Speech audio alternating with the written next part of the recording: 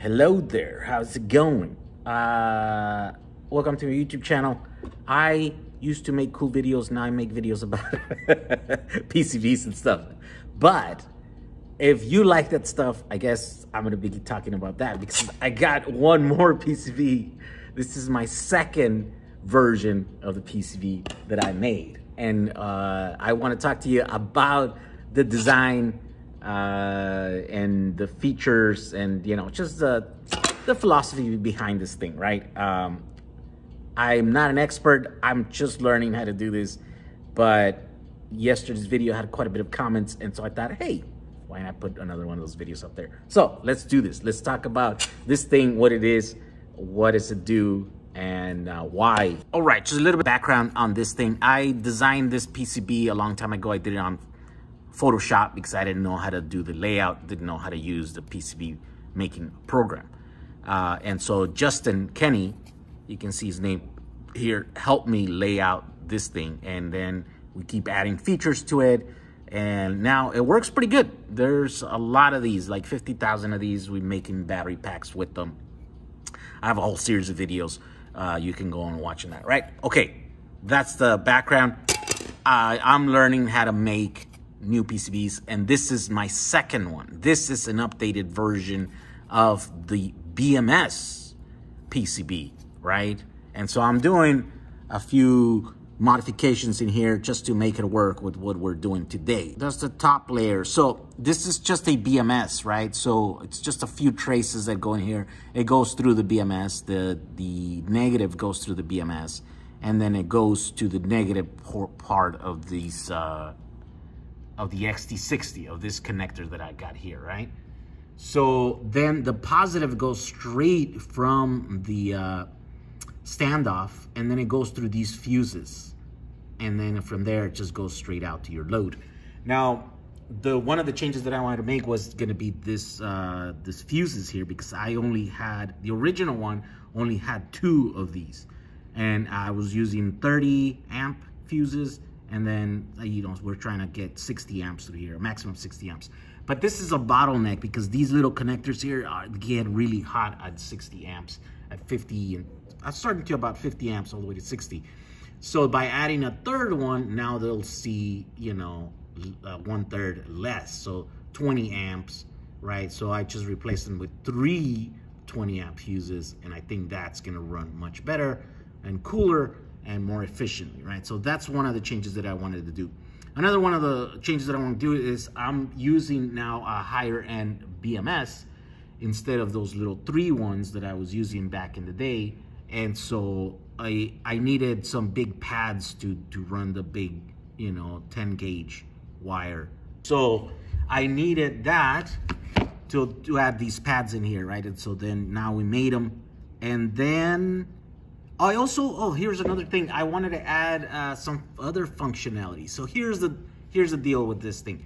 When you're making a board like this, if you order, the more you order, the cheaper they become, right? And so if you can add features that allow you to this, use this single board for many uses or more than one use, then you can order the same board and then in twice as much uh, many units, right? Or quantities of twice as much and then you lower the price of that. So if you can make one board to work with a bunch of things, like all the things that you need, then that's gonna be good, right? But of course, there's uh, the fine line because adding way too many features then also makes things confusing and there's trade-offs, right? So, so you have to keep that in mind. But in this case right here, I was able to get this board to be, to do three things that I wanna do, right? And so this, this simple single board serves as a uh, the purpose of, of three jobs that I want to do. Um, what else do I have here? Oh yeah, yeah. I want to I want to talk to you about uh, this thing right here. These are the inline uh, trace fuses, right? Um, these are on the original design here, and Justin did a great work designing and testing and uh, yeah, coming up with these guys right here, right? So what happens is that a lot of people that are first-time battery makers or builders get their hands on these because these are easy and, you know, then there's a set way of making batteries, right? And so the problem is that they sometimes make mistakes, and so they just blow all these little fuses. And so up, up until today, we haven't had a fire with these guys because they are redundantly safe, right? They have uh, multiple redundancies on fuses, and all that happens is whenever you make a mistake, boom, all these fuses blow, then your batteries are disconnected kind of thing. And then uh, it's kind of a hassle, it's kind of a headache because then your battery doesn't work. But the good thing is that you didn't burn your house, you didn't harm yourself or, you know, but the bad thing is that then they're kind of unhappy. They're like, ah, these boards don't work because I just, all the fuses blew for some reason, you know? And so, of course, the reason is because they made a mistake, right? But the, the thing is that in the past, uh, it's been so hard to replace these fuses that I usually, I'm like, tell people like, just throw the board away, just get rid of it, and then get another one. Now, that's easy to, to say because this is like a 80, 80 cent board, right? So it's not that expensive. But then once you start adding all the components, the holders, the fuses, the thing, then it starts becoming more like a four or five dollar board plus your time. And so it's kind of hard to tell people that like, oh, just throw, you know, $10 away or $8 away, you know. Uh, and that's what I've been having to say. There is a way to fix these, but it's really hard and tedious work. So I've been wanting to try to find a way to fix that. And I think what I'm doing here is putting the fuses here. Now here's one of the mistakes that I made. I didn't do it right. Uh, and so it didn't print them correctly. Now I have rectified that in here and that will fix it. But you see these two lines of holes here? Well, that's what that's gonna allow me to do is put little headers, sort of like the Arduino ones. And then whenever someone blows all those fuses because they made a mistake, instead of having to replace the entire board, I can just print out tiny little boards, PCBs that have the fuses in there. And then you have to do is just stick them in here and connect them with those little, you know, those little, those little connectors, right? That the, that the Arduinos have, sort of like these guys in here, right? So we can put them in there, solder them in there, uh, originally, and then whenever you need to do the thing, you just place it in there, and then there we go. So that's a thing that I'm going to experiment with. This is going to be the first version of these boards that have that, and then uh, and then we'll see how it goes. I also have since then changed this. It makes it's there's advantages to having these pads as big as you can because then they dissipate heat uh, better or you know uh, as much as they can. And this is gonna be, this is a two ounce copper uh, plates that we have it here on both sides.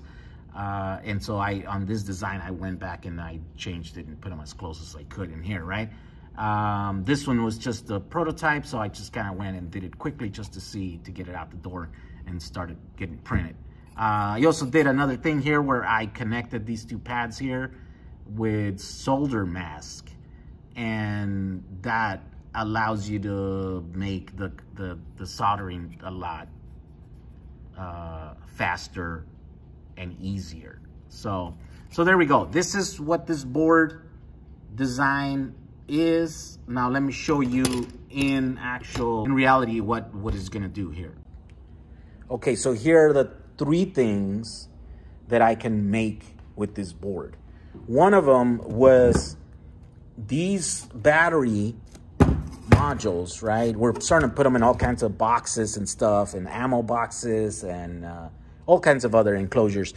What I've been having to do is I put little plastic feet on the bottom to isolate that because uh, the way these work is that these carry the current from one board to the next. So these are electrified right? So so that means that if you put uh, anything in here, like screws in here, then those are, this is the positive and this is the negative. So you can use those to attach to a uh, enclosure, right?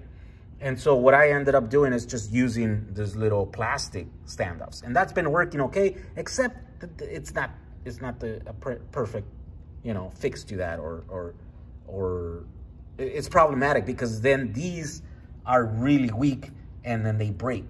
And so whenever we ship boxes, even without batteries, just with the, all the hardware in there. And when they make it to the destination, they often arrive with all these little plastic standoffs broken. And so we need to figure out another way. And so what I ended up doing here is just putting an extra, you know, that's what these ones are for. So what we're gonna do is these are not connected to these. In fact, these are not connected to anything. These little pads here, not connected anywhere. And so what allows me to do is put these, these little terminals, these are M4 terminals that are facing down, straight up, right? And so that, what allows me to do is now have a solid connection to this board, and then that board is connected to those. And then now these are isolated. And so then these little plastic ones, I can replace them and actually use this, the brass ones. And that's gonna be a much solid, solid connection. And then it's gonna allow me to attach it to the bottom and then those won't break and they, they're isolated. So that's the number one, or that's one of the uses, right? That's the most simpler one. Then the other one, the main use is gonna be this. This is the BMS. And here it is all populated. It's got the 20 amp fuses now. And then it's got the, uh, I like using these pigtails, right? Um, and then here are the way that these are gonna look in the back or with the two of those connected in there. Um, and then here are the other, the two holes, right? So I think I'm gonna change it because this is kind of hard. So I'm gonna change them to be further back, I think, right? So that this doesn't have to take that, that sharp of the turn there because that was kind of hard to do. Um, other than that, I think it's pretty good. It works. Um, and it fits really nice right here, right? And so that's gonna probably be our the new BMS that we're gonna start using more often because there's it's easier to make. This is higher quality of the BMSs, uh, and it just it just works, right? And so that's what we're gonna do. This is the new and upgraded version of the BMS here. It should, it should run a lot cooler on here, right? Here's the, the another use, the third use of this is to do a state of charge meter, right? And the way we do that is by using this uh, BGS or BG-8S. Uh, what you do is you connect it in here, and then all of a sudden you have the uh, like the voltages of all seven groups, right? And so the same board, uh, you can make three products with that. The bottom plate, the BMS, and the state of charge. And so, you know, that's what we're trying to do here just so that we can lower the price and the cost of these and, you know, increase the functionality of these guys and stuff. And so I hope you like this video. I'm just showing you a little bit of what I'm learning and sharing it with you. So if you need to get into building PCB boards, EasyEDA is one of the easiest uh, programs I think that's around. It's really easy. I picked it up. I spent, you know, I don't know, maybe like 10 hours designing and I have like three or four boards. There's some that are still coming and no doubt I will have some mistakes on them, but that's how you learn. You just got to get in there and do a thing. These don't cost much. I only order like five of these right? So now that I got them on in here and I'm like, okay, that's a mistake. This is a mistake. Okay, fix that. And then order, I could order another five, you know, and it only cost me like, I don't know, like 20 bucks or something uh, with shipping. And then eventually, once I'm happy with these, then I can order a thousand of them, you know, and you'll pay under uh, a dollar for each one of these boards. And so and this is this is very cool. So there you go. Thank you for watching this video. We'll see you guys on the next one. By the way, for all of those of you guys that have been asking about the scooters, they arrive tomorrow. They're going to be here tomorrow, so I probably won't have a video tomorrow because I'm going to be running and taking delivery of those. It's a full truck, something like probably close to 30 uh, pallets worth of stuff. It's going to be more scooter batteries. There's going to be the e-bike wheels. It's going to be the scooters. And I even have some grid tie inverters coming in there. So stay tuned for that. We're going to be making videos about that, put them on the website. It's, uh, it's pretty exciting. So, see you guys in the next video. Bye.